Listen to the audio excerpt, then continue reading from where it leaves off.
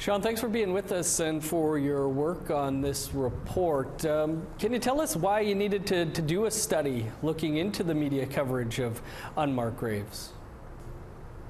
Yeah, I think we've seen a, a, rise in residential school denialism in the past few years. And it's not that people are denying that residential schools existed, but rather trying to twist or manipulate basic facts about residential schooling to try and undermine or shake public confidence in truth and reconciliation, undermine uh, confidence in survivor testimony and truth telling. And as a, a non Indigenous person, as a, as a settler, but as someone who has a residential school survivor in my family, I felt like I had a responsibility to counter some of this misinformation and disinformation to clear the path for, for truth and reconciliation. What do you think are some of the most important uh, findings and takeaways? Well, again, we've seen uh, in the last couple of years since the Kamloops announcement um, a number of people that are saying that what First Nations are identifying uh, is a hoax. Uh, and this is based on an idea uh, that some reporters and, and, journalists in, in May and June of 2021, when they were unsure exactly about what Kamloops and, and other First Nations like Cowessess were finding, uh, reported the findings as mass graves rather than uh, likely or potential unmarked graves. Um, and what denialists did, again, using the, the idea that they cherry pick evidence, is that they used a number of those reports to say, see, look, reporters and First Nations and the Trudeau government are, are conspiring uh, to mislead the public and thinking that uh, you know, more nefarious things are being located than, than what uh, is actually true. And again, that's a misrepresentation of the evidence. And so as this mass grave hoax narrative uh, has been gaining traction, uh, myself and a graduate student, uh, Reid Gerbrandt, decided to investigate the claims and, and, and fact check what was going on. Uh, so, Sean, we were looking at uh, some of the international coverage this morning. CNN, The Guardian, still with stories up talking about uh, mass graves. How important, I guess, from looking at all this, do you, do you think language is that's used in the reporting and, and by First Nations leaders?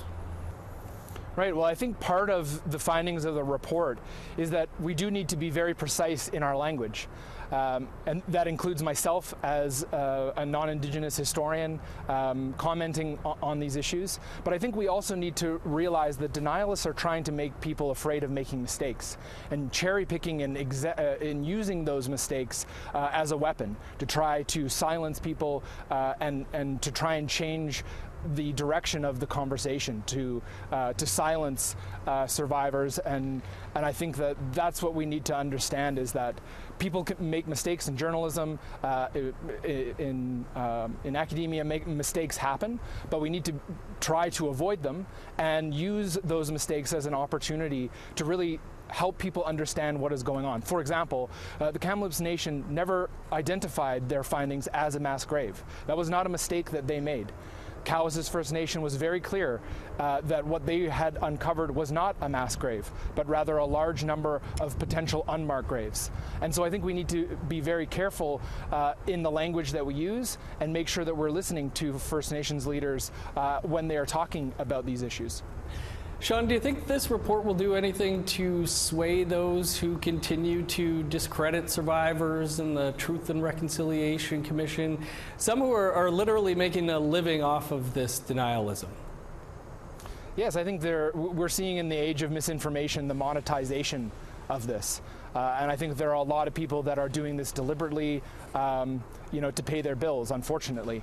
But I think the, the problem is, is that people put out this misinformation, but then people pick up on it. They buy into it. They invest themselves in these ideas. And I'm, ho- I'm hopeful, uh, as is Reid, uh, that our report will at least shake uh, the idea that there is a mass grave hoax, right? The, the, the, the foundational claim here is that journalists almost universally reported these findings as mass graves. And our report shows that that's not the case. 93.5% of uh, articles that we looked at across five different uh, media outlets did not report uh, the findings as mass graves. And so I think continuing to advance this narrative of a mass grave hoax uh, needs to be seen for what it is, uh, which is residential school denialism uh, and mis and disinformation.